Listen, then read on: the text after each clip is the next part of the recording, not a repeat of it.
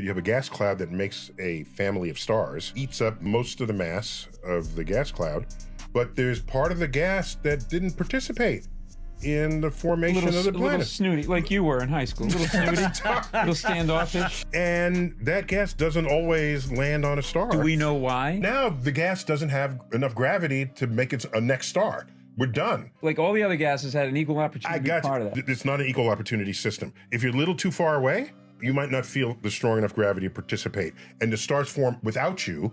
And then the whole galaxy is rotating. So your whole system with your stars and your gas is moving through other stuff. So your gas can get stripped and scatter into the galaxy, say, so- never to make another star. So that gas just continues Correct. as gas throughout the universe. These are the particles that comprise the interstellar medium, even between the gas clouds.